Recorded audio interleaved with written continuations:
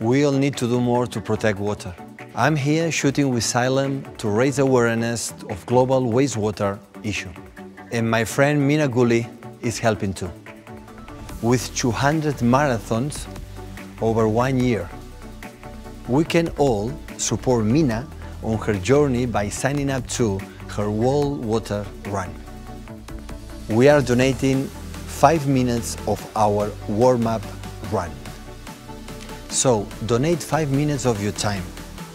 Turn a simple run or walk into something bigger. A statement to our ambition to protect water. Let's support Mina.